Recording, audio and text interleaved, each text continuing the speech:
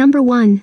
Andrew was last seen in Jefferson, Massachusetts on September 30, 1978.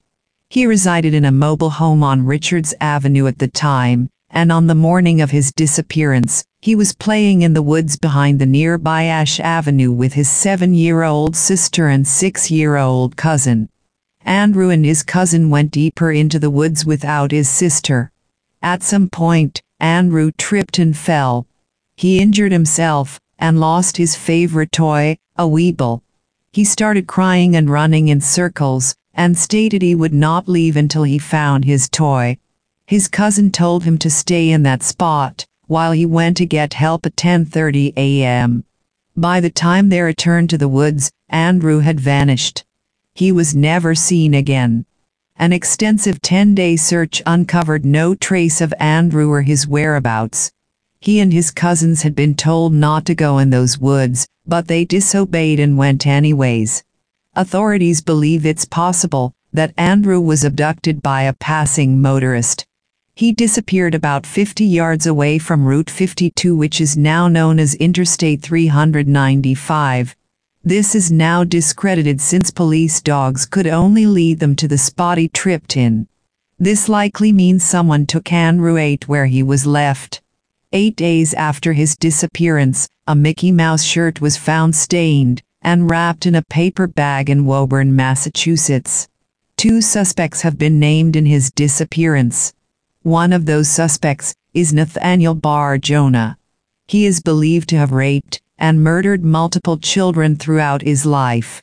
He is also considered a possible suspect in the 1973 Connecticut disappearance of Janice Pockett, the 1996 Montana abduction of Zachary Ramsay, and the 1997 Wyoming disappearance of Amanda Gallion. In 2000, investigators found the bone fragments of a child buried six feet underneath his dirt floored garage in Montana. The bone fragments were not those of Zachary Ramsay. Janice and Amanda's families sent their DNA for comparison to the remains, but they also did not match. Andrew's DNA was never compared with the bones. Investigators also believe Bar Jonah was involved in cannibalism. Human hair was found in a meat grinder at his home. It did not belong to any of his possible missing victims. The reason why investigators have questioned his possible involvement in Andrew's disappearance was since he grew up in Webster, Massachusetts at the time. Dudley is only 33 minutes away from Jefferson. In December of 2001, a handwritten list by Bar Jonah surfaced.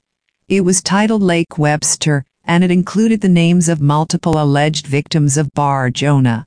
Some news reports have falsely claimed that Andrew was among the children on the list, but he wasn't, and there's no evidence suggesting he was involved in the case. Bar Jonah's given name was David P. Brown in up until 1991. Bar Jonah died of a blood clot in Montana prison in 2008. He was 51 years old when he died. He was never charged with any wrongdoing in Andrew's case, and there's no evidence suggesting his involvement in the case. In June of 1998, investigators excavated a wooded area off of Minebrook Road. They learned that possible evidence related to the case was possibly buried in the area. The area was approximately five miles away from the area of his disappearance. Nothing was discovered as a result of the search. In November of 2003, investigators learned that a Rhode Island man confessed to abducting and murdering Andrew in 1999. He allegedly confessed on his deathbed to his mother and a sibling. He had passed away from lung cancer, and after four years, his family decided to divulge the information to authorities. Apparently, this man was a Rhode Island laborer and was 53 years old at the time of Andrew's apparent abduction. He came to authorities' attention after saying he heard of the well-publicized man hung over his radio. He was the one who would find Andrew's missing Weeble under a pile of leaves. This area had already been searched before, and the toy was not there. Investigators have declined to reveal the suspect's name or any other information, but call his confession credible. A rural area in Burrillville, Rhode Island, was excavated and searched.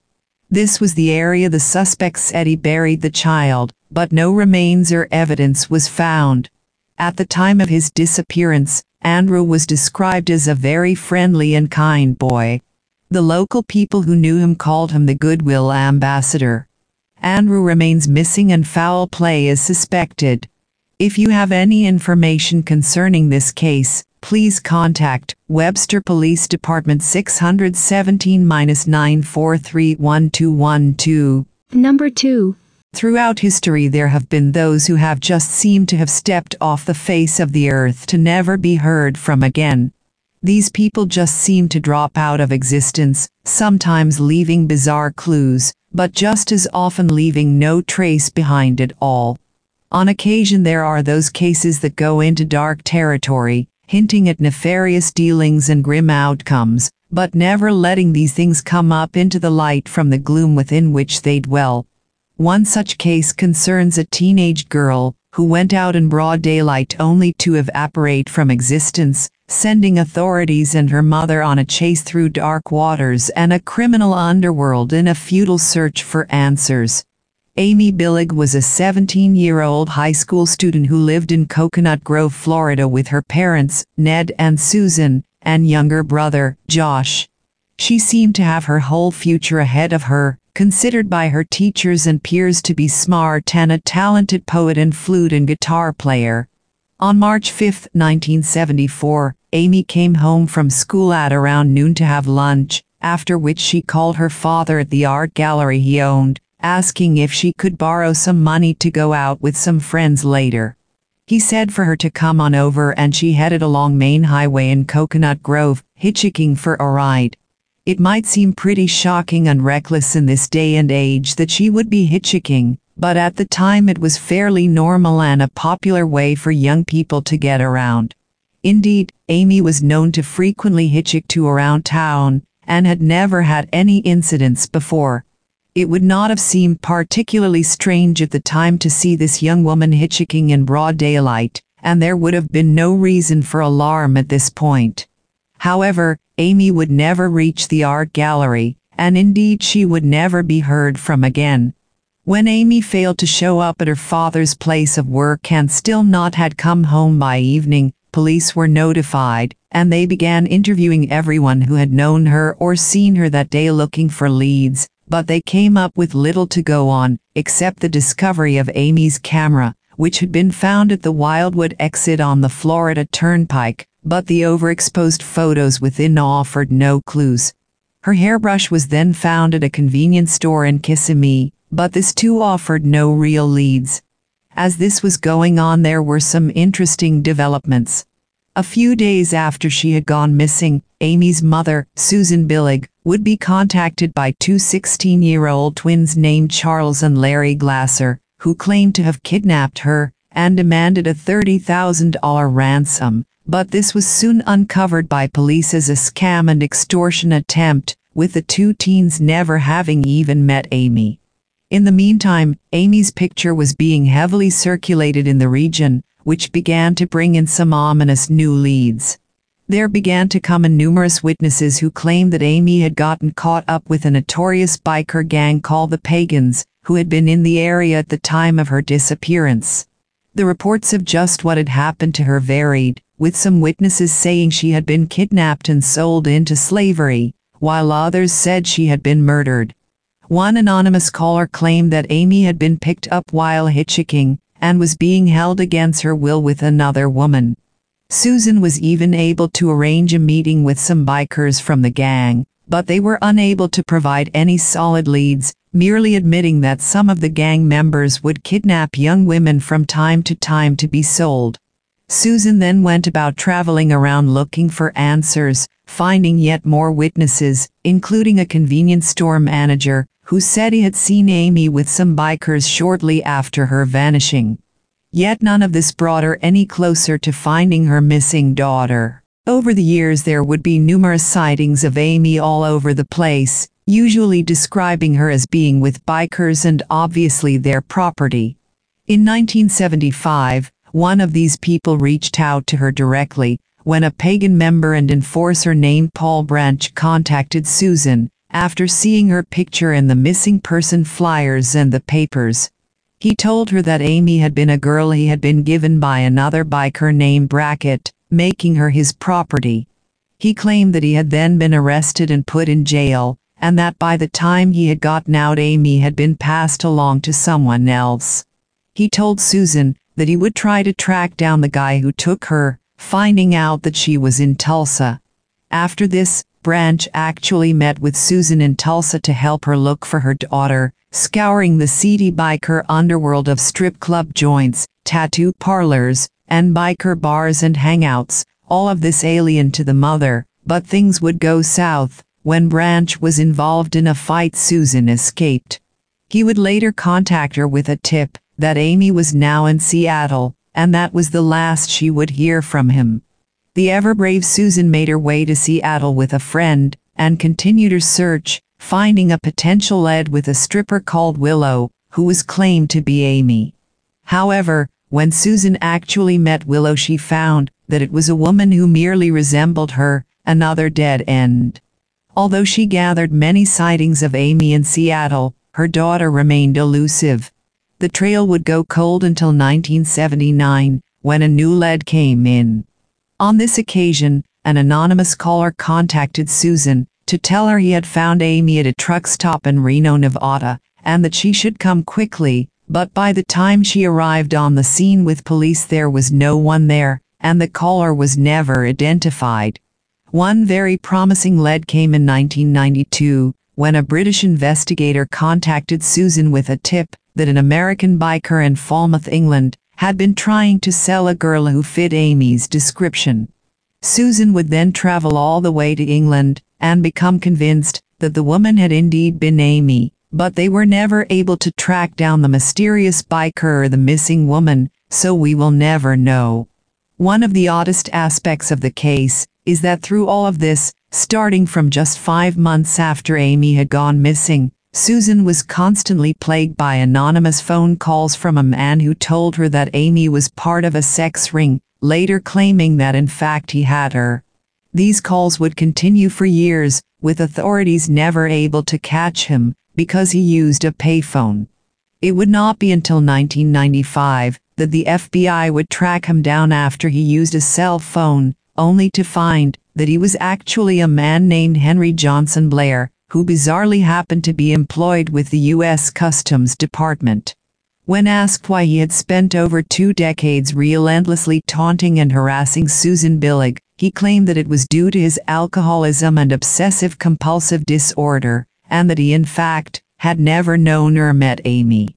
Police would doubt this when they found journal entries Amy had written talking about fantasizing about running off to South America with a man called Hank, which just happened to be Blair's nickname, and it also just so happened that his work often brought him to South America. He would end up serving a two-year prison sentence for harassment, but was never charged in relation to Amy's disappearance. The whole case would get even stranger in 1997, when Branch's wife stepped forward to tell the BBC that he had changed his whole story on his deathbed. According to her, he had told her that he hadn't been truthful with Susan and that Amy had actually been drugged, raped, and killed at a party shortly after her disappearance, after which her body had been chopped up and thrown into a swamp in the Florida Everglades. At first, authorities and Amy's family believed this confession to be true, but it was called into question when it turned out that the woman had been well compensated for her breaking story. Because of this and the fact that no remains were ever found, it is now thought that the confession was fabricated in order to cash in on the notoriety of the case. Susan Billig would spend the rest of her life searching for her daughter, doggedly tracking down every clue or scrap of information she could, also writing a book on it all in 2001 called Without a Trace, A Mother's Search for Justice, but would ultimately never meet her again, dying in 2005 with no closure or answers. It is a very mysterious and tragic tale that has been featured on such hit shows Unsolved Mysteries and America's Most Wanted. To this day Amy Billig has never been found, her fate unknown. What happened to her? Did she end up kidnapped and murdered by bikers, or did she simply run away? What part do all of the various players have in this, if any? How could such an extensive search turn up nothing at all? No one knows, and Amy Billig has never been seen again. Number 3. Cynthia was last seen in Russellville, Arkansas on December 2, 1976. She was last seen at a residence in the Fairview Estates neighborhood at approximately 5.30 p.m. She was never seen or heard from again after her disappearance. Cynthia wasn't the only girl to disappear that day. Two other girls, 13-year-old Teresa Williams and 14-year-old Crystal Donita Parton, were both reported missing from their residences which were in the same neighborhood as Cynthia. None of the three girls were ever seen again. Investigators initially considered them as runaways, but later revised their theory on the cases. On Thanksgiving Day of 1986, a couple who were deer hunting found what appeared to be human bones in a remote area located near the Pope Newton County line. On December 2, 1986, investigators located three leg bones and an arm bone while searching the area. Two days later, investigators found a matted mass which had bones, clothing, and roots in it.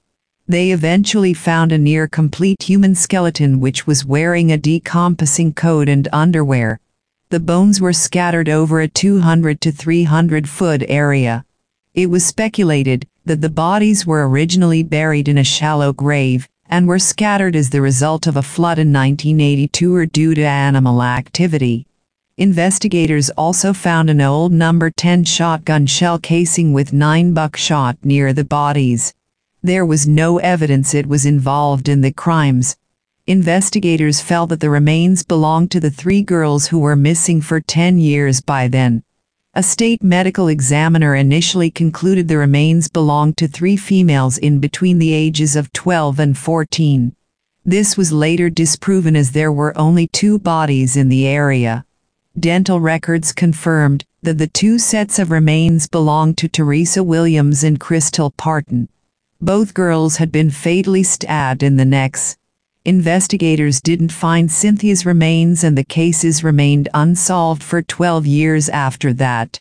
In October of 1998, investigators stated they knew who killed the three Russellville girls.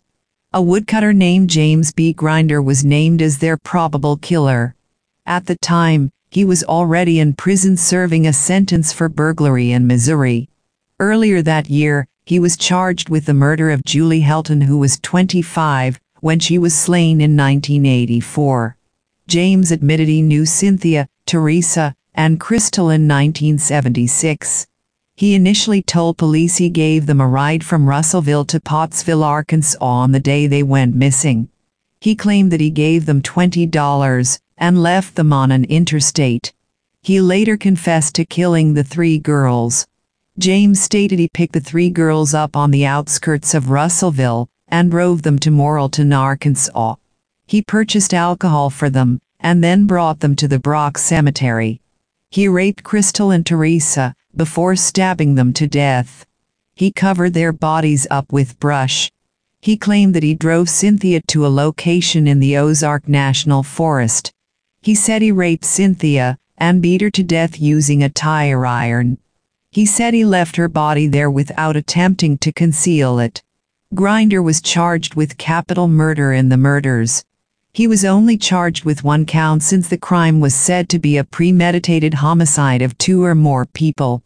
James pleaded guilty to the crimes and was sentenced to life in prison. He later requested that his sentence be reduced and claimed he was forced by police to confess to the murders. He claimed that others were involved in killing the three girls, but is believed to be lying, and his request was denied.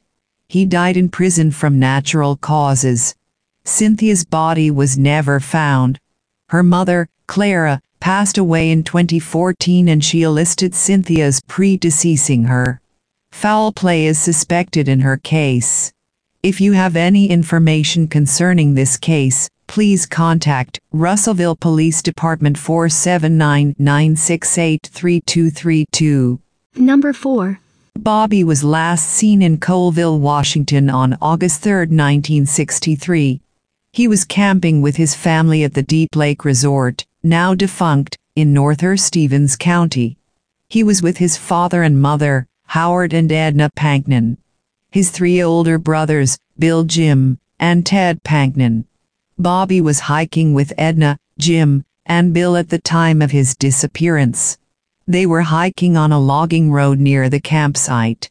No one else was on the road at the time they were on it. Bill left the road to go and see a small creek that he thought sounded like the Laughing Brook in the Thornton Burgess children's stories that the family enjoyed reading in 1963. Edna followed Bill towards the creek and instructed Jim to stay on the road with Bobby. Jim, however, decided to follow his mother and brother, leaving Bobby alone on the road. Bill quickly found that the creek wasn't what he was expecting, and they all returned to where Bobby was last standing. They were gone for a matter of minutes, likely five and were only a hundred feet away. By the time they came back, Bobby was gone. He was never seen or heard from again afterwards. Ted and Howard were fishing when Bobby disappeared, and soon found out what had happened. Ted searched the road that Bobby had gone missing from, but didn't find any evidence of his whereabouts.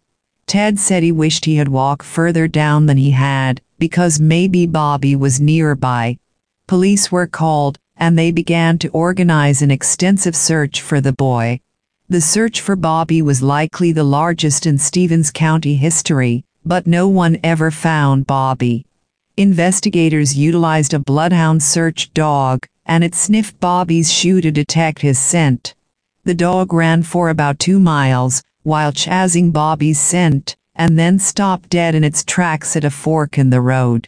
He never went back on the trail. Over 500 people were involved in the search for little Bobby.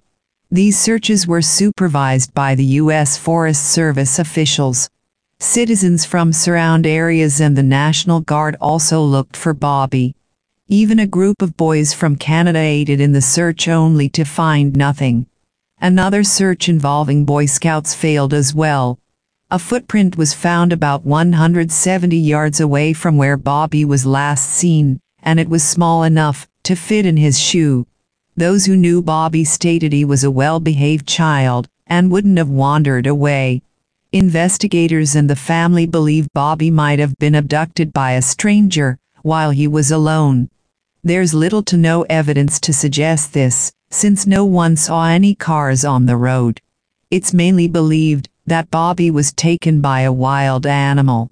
Bobby and his family lived in Spokane at the time of his disappearance. They had moved to the area from Wyoming in July of 1962.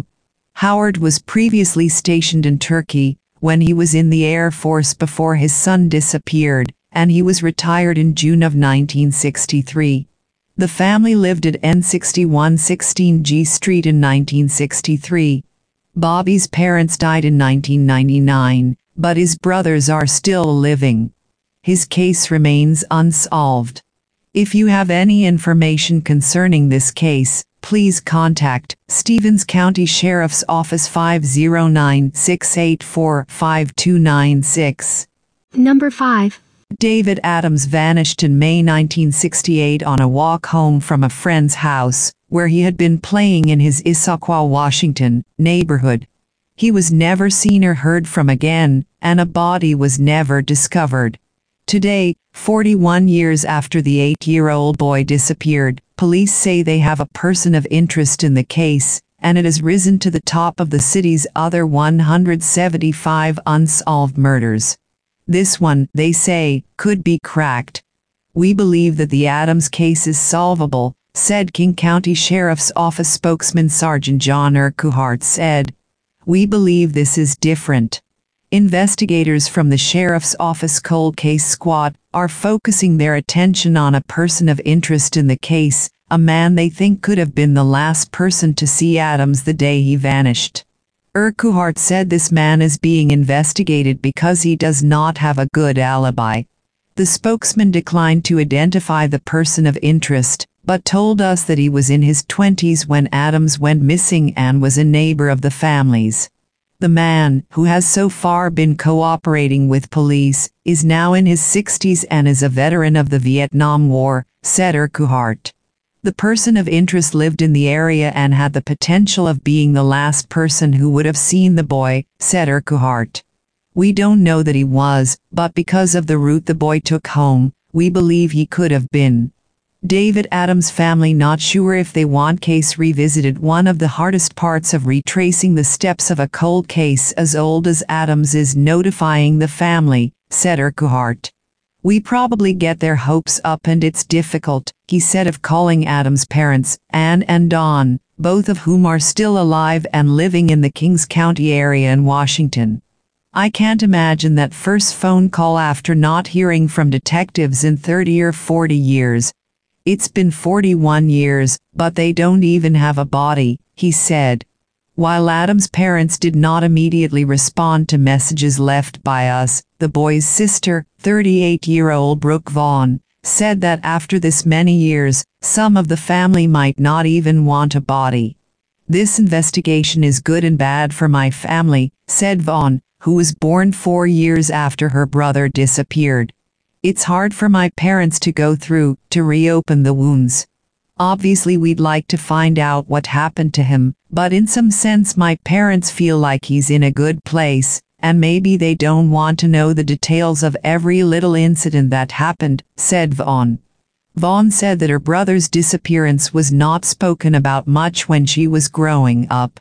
Her other brothers and sisters four in total have all reacted differently to the new interest in the case, she said. Asked whether she believes her brother is still alive, Vaughn said, no. In addition to speaking with Adam's neighbor, Urquhart's department has also handed out a deck of playing cards, each emblazoned with a photo of a missing person, to prisons and jails. As time goes on people who might have information or known a suspect and to come forward, he said. They're not as afraid of the suspect anymore or they might be on their deathbed and what to get it off their chests. We are hopeful, said Vaughn. We always are. Adams was last seen on Tiger Mountain in King County, Washington on May 3, 1968. He was hiking with his brothers and sisters when he disappeared. An extensive search of the area turned up no sign. People theorized he was attacked by a cougar or fell into a coal mine shaft. Authorities now believe Adams may have been abducted, however. Few details are available in his case. David was last seen on May 3, 1968. On May 3, 1968, David rode the bus from Clark Elementary School to a stop along Southeast Tiger Mountain Road and then went to play with six-year-old Kevin Bryce, a friend from church. David needed to return home for dinner at about 5 p.m., and Kevin and David walked to a bridge across 15 Mile Creek. Kevin asked David if he could reach home, and David said yes and headed to the shortcut. David went missing, while returning alone from a friend's house to his home on the 14,000 block of 240 Avenue Southeast. More than 1,000 searchers, with the aid of dogs, combed Tiger Mountain in the days following his disappearance, but he was never found. They did not suspect that there was any foul play, and there was no evidence taken at the time. David was a third grader at Clark Elementary School at the time. Soon after the cold case unit re-engaged in the Adams case in early 2009, investigators collected DNA samples from Adams family members and interviewed people connected to the case in 1968. Investigators focused for a time on a former Adams neighbor, a 20-year-old Navy corpsman in 1968. Detectives interviewed the man and conducted a polygraph test in the days after David disappeared, police records state. The man agreed to another polygraph test in April 2009 at the Lewis County Sheriff's Office. The man told Tompkins he assisted in the search, but failed the test, court documents state. The technician administering the test recorded the strongest deception reading in response to, Do you know where the body is? The man also told Tompkins he passed a polygraph test in May 1968, court documents state. However, the test is not included in the current Adams case file. No conclusive evidence links the man to the disappearance. Detectives working out of the King County Sheriff's Office Cold Case Squad are taking another look at the disappearance of an Issaquah boy on Tiger Mountain over 40 years ago. Detectives are re-examining a former neighbor as a person of interest in the 1968 disappearance of eight-year-old resident David William Adams. The police interviews are intended to determine if the man, a former neighbor of the Adams family near 15 Mill Creek, could be investigated as a suspect or ruled out of the case altogether. Sheriff spokesperson Sergeant John Urquhart said the investigation was reopened thanks to the formation of the Sheriff's Cold Case Squad this April, which is reviewing more than 175 unsolved cases still on the books. Urquhart said he believed foul play was involved in the Adams case, and that the neighbor was the last person to see him alive. He's been a person of interest for several years, Urquhart said, it is certainly worth taking another look at the case. The person of interest, now in his 60s, is a Lewis County resident. According to court documents obtained by the reporter, the man was very evasive during the search. Det.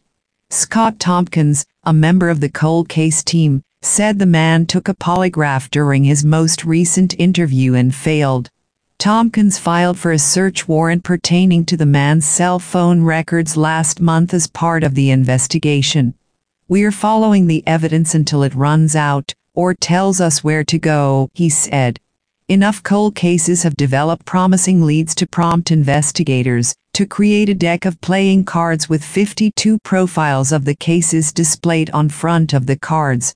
David Adams is currently featured on the front of the Ace of Spades. They hope passing the playing cards out in state prisons and jails might generate more leads to solve the long dormant cases. Adams, an Issaquah elementary student at the time, was returning alone from a friend's house to his home on the 14,000 block of 240 Avenue. SE when he disappeared on May 3, 1968. More than 1,000 searchers, with the aid of dogs, combed Tiger Mountain in the days following his disappearance, but he was never found.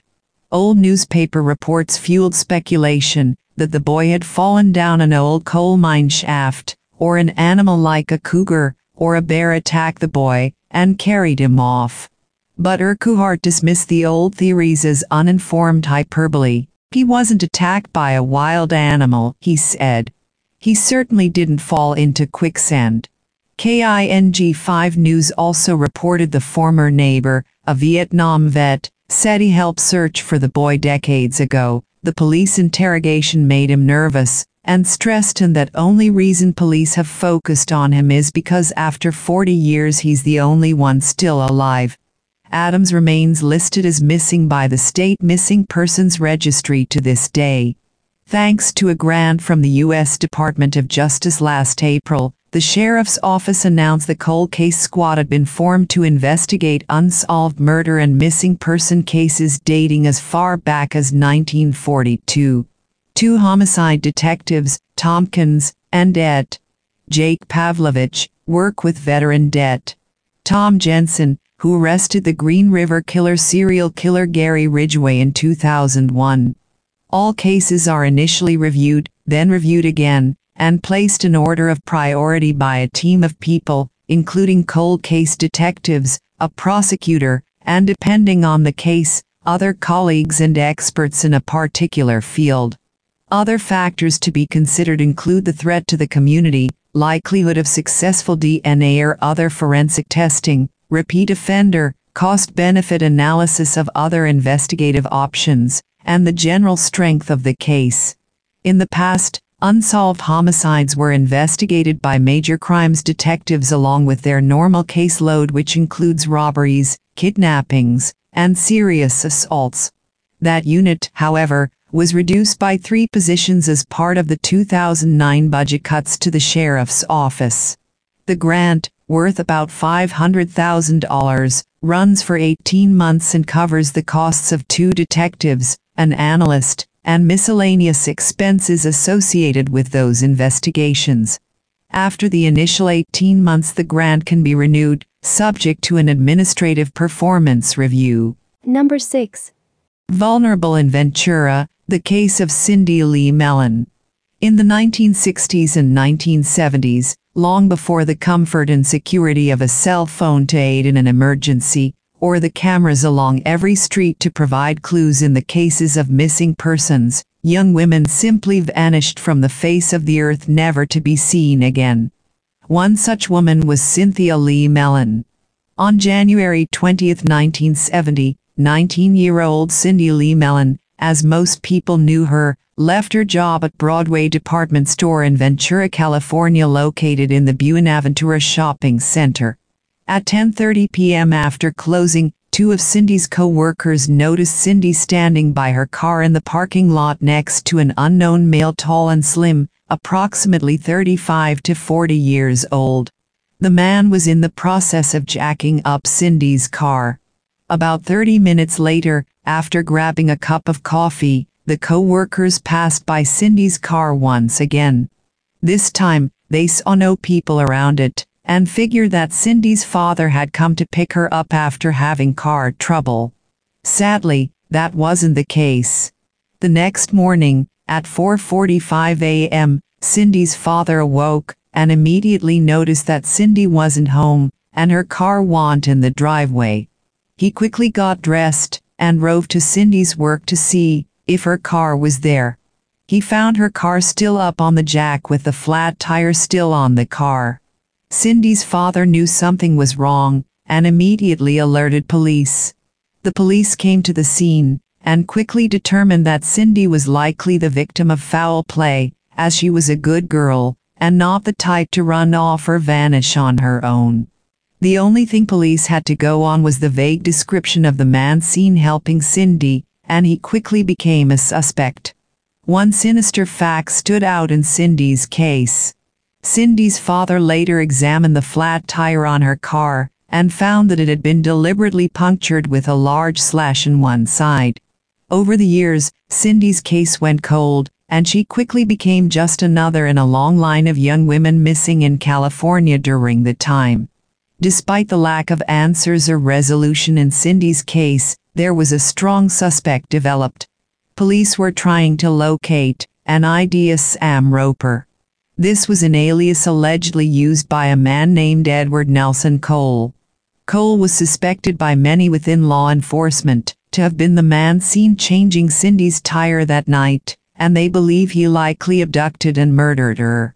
Cole, during this time period, had a job burying pipes along the highway in Southern California, and they believe that he discarded Cindy's body burying it somewhere along the highway. In later years of the investigation, police actually had trouble locating the whereabouts of Cole. I easily found him in Florida, where he died in 2005, and passed this information along to police. Additionally, I located the real Sam Roper in South Carolina whose ID Cole had stolen. It turns out, Cole and the real Sam Roper were born on the same day. I've never been able to determine how or why Cole came to use Roper's name, or how he knew that they shared the same date of birth. I'd like to stress that Cole's alleged involvement in Cindy's case is just that alleged. There has never been enough evidence to arrest Cole, or anyone else for that matter. Cindy's case remains unsolved today 47 years later, and sadly will likely remain that way. Cindy's parents died never knowing the truth about what happened to her, or getting the closure they desperately wanted. It would be easy for Cindy's case to be forgotten after all these years, but true crime bloggers like myself won't let that happen, and we shouldn't. Cindy lives on forever on the internet, and so does the search for answers in her case.